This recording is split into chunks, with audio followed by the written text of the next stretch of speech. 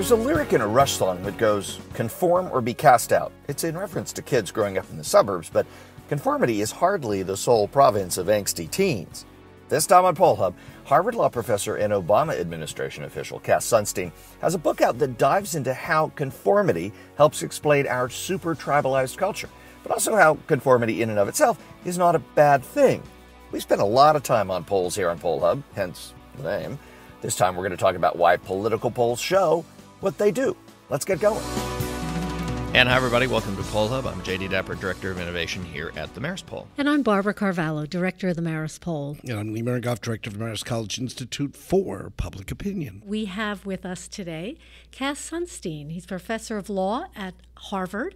Uh, most of us have heard of that place. Uh, he's also was a former uh, administrator of the White House Office of Information and Regulatory Affairs. He is the best-selling co-author of Nudge: Improving Decisions About Health, Wealth, and Happiness in the World According to Star Wars. But he is here today to talk about his latest book, Conformity. Welcome, Cass. So so nice of you to join us today. Thank you. Pleasure. So, what exactly is the meaning of conformity? I think of I think of peer pressure. Am I am I on track, or is it much bigger than that? Uh, you're on track, and it's much bigger than that. So, uh, peer pressure signals that you kind of want to do what everyone else is doing because you want them to like you or not to dislike you. And that's an important part of conformity. But another part that's really big, maybe even bigger than peer pressure, is that what other people do provides a signal about what's true or what's right to do or what will avoid trouble. So we often get uh, information from what other people do, and we don't ignore that information. So, how does technology help or hurt us conform? It can do both. So, suppose you're on Twitter or Facebook. Uh, you can see, you know, most people think that it's good to avoid certain medicines on the ground that they have side effects for people like you. Or you can learn that uh, certain vaccinations really work, though they really hurt in the arm, and that can make you follow the people you trust, who might be your friends, or the people you follow on uh, Twitter. And that can be really helpful because the informational signal might be very strong, uh, more strong and more clear than maybe at any point in human history. Uh, but there's a risk, which is that people will say that some medicine has side effects or doesn't work, uh, or that some vaccine is not helpful or causes terrible things to happen. And you might conform to their view just like you know in ordinary life we conform to the view of trusted others and not discount the fact that they may have an agenda or just be wrong. You um, talk about in the book the research has shown that uh, conformity within groups tends to push people towards the extremes so that if i'm kind of feeling one way towards a position and i'm in a group where they feel much strongly towards that position at the end of their of our discussion i'm going to be really strongly in favor of, of that position how much of that do you think plays into the extreme partisanship we're seeing not only in this country but really around around the world right now? A, a ton. So I should confess that I came to this. Um, uh, material kind of kicking and screaming because I had done work at one point that suggested that a group would end up in the middle of where the individual members were before they started to talk. Which is kind of the uh, logical, that's what we would think Yeah, would kind of- logically happen, right? Yeah, kind of conventional wisdom. Yeah, so if you have 10 people and like half think one thing and the other half another thing, they'll end up splitting the difference. And then I did some work on how people think about climate change and how they think about same sex unions and how they think about issues of discrimination.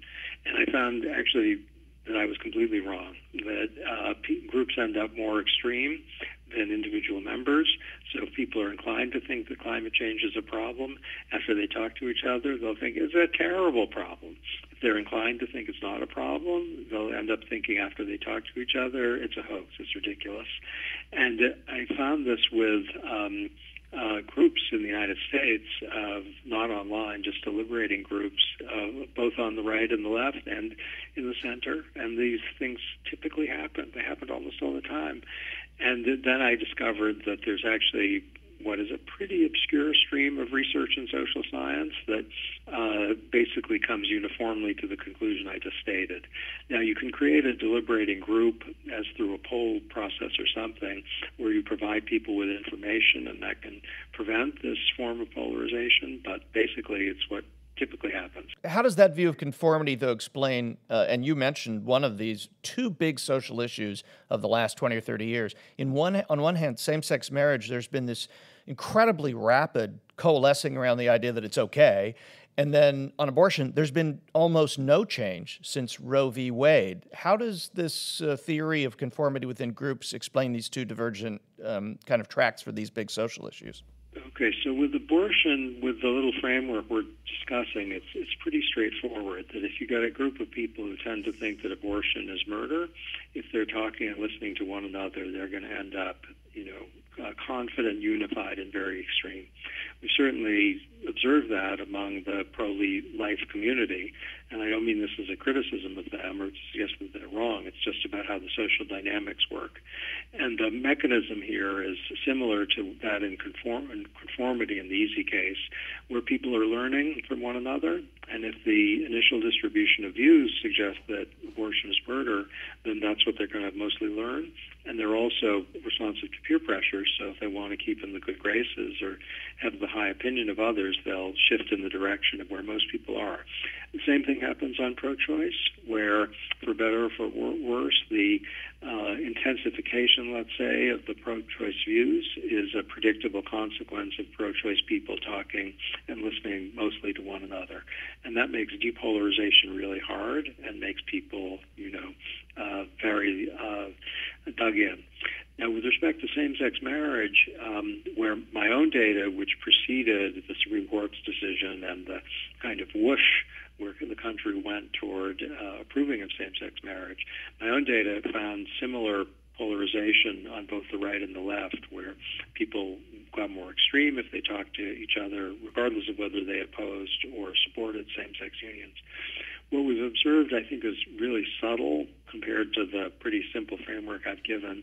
And the subtlety is that once people learn that you know their children or their neighbors or their siblings or their parents were gay, then the, uh, hostility and moral negativity uh, softened or was eliminated, and that is very rare. So if you think of issues like abortion, you may know someone who had an abortion, uh, but that if you think that a fetus is human life, you're not going to say, no, I think abortion is fine. You're going to think, well, I kind of understand, but I disapprove. Or you might think, I don't understand. I love the person, but I don't love the act. And with same sex marriage, if you see lots of people around you who are uh, gay or lesbian and just want to be with someone who they love, uh, you, you're just confronting something that keeps your previous moral conviction uh, makes it submerge into something like an ocean. Yeah, yeah, I think that's interesting because I mean, people have talked about this being the major issue that's gone through a sea change, uh, while others haven't. So I think that's that's certainly uh, informative to, to to, to to zero in on that. Um, your book brought sort of the political scientist out in me, um, and I want to make sure I'm getting part of. In other words, some of the things that jumped out at me were, you know, how are facts working? How are we learning and filtering the information? Are how do alternative facts fit in? You know, uh, uh, the notion of echo chambers, rooting for our team and our issues. I'm seeing all these kind of social dynamics at play, and I was wondering if you could sort through a little of how much of the filters we're getting are so one lopsided that they're uh, obscuring alternative views, and that's how we get into these extreme polarizations. Am I am I reading that right? Yeah, definitely. So so let's think about facts. So um, I'll give one that's not quite as um, maybe hot, so to speak, as climate change. I didn't mean that terrible pun. well, today it doesn't work. It's raining. so genetically modified food. The question is whether genetically modified food creates health risks. Now, if you're in a community, let's say in a town, or if you're in an online community, And people are saying, you know, genetically modified food causes cancer or heart disease or poses extreme ecological risks. That you know, it's a pretty technical question, and uh, you might think, oh, that's really bad. I want labels for those things, and I don't want to be eating those things. Or if you're in a community, and there are communities like this where the genetically modified food, the risks are trivial, there are no health risks, and the environmental risks are completely manageable and small. And you're just learning from people with whom you're communicating that this is a, uh, a, a non-existent threat. And in our two very stylized different groups, it really is, as you say, just a question of fact, which is, is it safe to eat this stuff? And is the environment uh, at risk because of this stuff? And if you're listening to others, you will, other things be equal, conform to them if you trust them, either because they are providing you information on a question on which you don't have a clear conviction, or because you want to stay friendly and respected by them. And so even if you don't think quite what they do, you might go along with it. It might become part of your uh, food habits because you want to be one of them. And this is a very simple example, of the genetically modified food example, but it's c- consistent with the general question of um, of uh, tribalism. If I was uh, in my class in public opinion in the upcoming semester and a student reading your book and asked me, well, how does this compare or contrast with 1984 and the imagery that that book created? How would you uh, answer that so I, I, sound a little more informed when I answer it? Yeah, well, uh, 1984 is um, one version of a totalitarian society in which people are really scared and where nonconformity uh, poses extremely severe risks. So we can think of 1984 as a tale of fascism or communism, where it's not ordinary conformity pressures, where I mean ordinary like in a free or mostly free society. Um, Brave New World is a different story of dystopia uh, where there isn't, at least visibly, uh, Big Brother who's watching you, but there's nominal freedom, but there are conformity pressures all over the place. And I think for modern, let's say, Western nations, the Brave New World uh, vision of uh, people being entertained, kind of not to death, but entertained to a form of unfreedom. That's that's more resonant. Is there is there any positive to conformity for society? Absolutely. So, uh, if there's a nonconformist in our midst, uh, unless they've got you know amazing emotional intelligence, we're not going to like them very much because they're just going to make life miserable. They might dress in a way that makes us uncomfortable. They might be mean and discourteous. So conformity is like social glue and it's part of um, what makes ordinary civility uh, uh, flourish. So people will talk in ways that reflect how other people talk, which will mean that they won't diverge from social norms, and most social norms that we live with are, are really good. So conformity is uh, a clue to what makes civilization possible and, you know, for human beings, this is the clearest. But if we look at man's best friend, the dog, they are conformists, both to each other and to their human friends. Boy, you just you must have done some research on this group. You, you, that's the best example you've had today. that's great. That's great. Dogs are conformists, but they will also, if they sense danger, they will um, uh, say what they think, even if it's not in human language. You um, spend uh, maybe a quarter, maybe a third of your book talking about judges in the legal system and how conformity within small groups, especially like appellate courts where there's a three judge panel, um, has, uh, in your view, a real warping impact on the judiciary. Um, and, and I was really interested in that because one of the things you suggest is that that, that uh, instead of having three Republican judges on a panel or three Democratic judges on a panel, it'd be good if they were mixed because those there may be a better chance of coming up with with better decisions or fairer decisions. But isn't that what we have on the Supreme Court? We have five justices appointed by Republicans and four by Democrats, and all we have is a litany of 5 4 decisions and the sense that the court is not really reflective of the American middle anymore? It's a great question. Um, keep in mind, if you would, that the Supreme Court hears, you know, uh, a, a number of dozen cases every year and they are really hard cases. They're one where the lower courts are divided. And so the fact that we get a significant number of 5 4 decisions should be seen in the context that these are the toughest, you know, 80 or 90 of all, of many, many thousands. And there are legal issues involving constitutional rights or uh, the meaning of you know, the Clean Air Act or the National Labor Relations Act, which never get to the Supreme Court. They're very important, but they're not so hard that they split uh, along purely ideological lines. Ideology matters, but but it's not as if it's lockstep. And my own data shows that if you get two Republican, let's say it's two Trump appointees sitting with an Obama appointee, the likelihood that that court will go in, let's say, the stereotypical liberal direction is a lot higher than if it's three Trump appointees and that's a clue that at least the run of cases the courts of appeals hear, and these are really important cases, and they are tough, just not as you uniquely tough as the ones the Supreme Court hears. The existence of a mixed panel makes a difference, and both Democratic and appointee, Republican appointees they look much more moderate if they have at least one judge appointed by a president of the other party on their panel.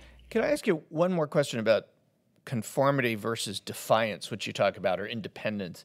Is is there such a thing as public conformity but then private defiance? Because you, you kind of hint at this in the book where in a group we will be conform we will conform, especially if the stakes aren't super high for us personally. But I wonder if we aren't more more of us are not privately defiant and how that might play itself out if we're more aware of what this public conformity does and means to to our society as a whole. Absolutely. So you can have people who are, you know, either saying or doing something that conforms to the majority in their group, but inside their heads there's a big no in capital letters and with an exclamation point. And that no might, might be independence, that they have a separate view, or might be defiance, meaning that they are the type of people who, inside their heads, uh, don't don't like the majority view because they just are rebels and that can be um, a fantastic opportunity for social change if you have a lot of no sayers in their head. And the movement for same sex marriage reflected that, where there were a lot of people who were quiet, even though they were supportive of same sex marriage, or actually were strongly in favor of it, uh, but they were closeted. And I use the word uh, deliberately. The closeted in that sentence means either they were gay and they didn't say so, or they were supportive of same-sex relationships and they thought the whole idea of discrimination was preposterous, but they didn't didn't say so until they got freed by a, a modest shift in social norms that didn't go all the way to same-sex marriage, but did go far enough that uh, people could take that private no in their voices and put it in the political debate. Okay, before, before we let you go, let one uh, final thought. Um, from the introduction by Barb, um, said you're a law professor at Harvard. What aspect of the law do you actually teach? Because I must say, I'm a little surprised by this discussion and what my conventional wisdom is of what a law school education is all about. So, uh, uh, enlighten me on this one. Yeah, well, I, I got into a lot of this through studying juries and judges and studying when juries make certain decisions. Um, why do they come to a verdict? Are they people who are saying no in their heads, as you said, but yes, mm-hmm. their fellow jurors? And uh, are judges influenced by other judges? And once I learned that juries actually in punitive damage cases where they're punishing corporate wrongdoing, they end up being much more punitive than the average member uh, because they talk to one another. That's group polarization. Outrage among juries, I learned a, a number of years ago, outrage feeds itself. And, and that made me think there's something really interesting here about group dynamics and that got me into a, a, whole world of social science that law professors typically don't study. Well, you know, we are heading down the road to 2020 and the presidential campaign, and we're going to see a lot of polarization, a lot of tribalism. Uh, and a lot of conformity on one side or the other, probably, right? Uh, yeah. do, do, you have any? Does does uh, does your research have any prescriptions for us as as we as we look to the next year? Well, we do know that a very smart strategy, which President Trump has been very um, uh, intuitive about, is to indicate that you have a lot of support and to indicate that trends are going your way. That can be an effective uh, mechanism for uh, creating self fulfilling prophecy. So, uh, any politician would be well advised to uh, create a narrative of momentum and um, and uh, that people like you like her or him. Um, with respect to Democrats and Republicans trying to, so, and the primary is very different from the general, of course. In the primary, uh, tribal identity can be enlisted in your favor. You are defining what it means to be a Democrat, and many of the candidates are trying to do that. Uh, in the general, you you need both to maintain a degree of tribal connection while also suggesting, as President Obama very successfully did, that um, uh, your self understanding is one that speaks respectfully and takes on board views of people who are outside the tribe that you seem to be part of. So the the prescription is basically that. Also, any Democrat should be running right now to be president of Iowa. in, in, their head, they should repeat, "I want to be president of Iowa. I want to be president of Iowa," and because that can create um, very loud conformity pressures, and the data are very supportive of that. President, I worked on President Obama's campaign in 2008, and I visited Iowa, and we were definitely thinking he needs to be president of Iowa and it and it worked out for him. I was there, and he uh, he won. You were there. So the other prescription, by the way, for pollsters going into 2020 is a big bottle of ibuprofen, I think, on the wall. But that's a that's another story. Cass Sunstein, thank you so much for joining us. Uh, Harvard Law professor, writer of uh, several books, uh, author of several books. Conformity is his latest, and that's what we've been discussing. Cass, thank you very much. Thank you. Great pleasure. That will do it for this edition of Poll Hub. Poll Hub is a production of the Marist Poll at Marist College in Poughkeepsie, New York. Thank you to Mary Griffith, our executive producer, as always, doing a wonderful job. And we'd also like to take the opportunity to thank the Roper Center Archives at Cornell University, who provide us with the ability to look back in time at trend data, at survey questions, the results. It helps enlighten what we're talking about, particularly when we have to look back at things over the past decades. And we love to hear from you questions about poll, question about polls in general, maybe questions you'd like us to ask on polls. And the best way to contact us is through social media. We're at Marist Poll Facebook, and we're in Instagram, and we're in Twitter, and you know all those various places. So reach out to us that way, and don't forget to look down at the device on which you are listening to this podcast on, and hit subscribe. We'll see you next time.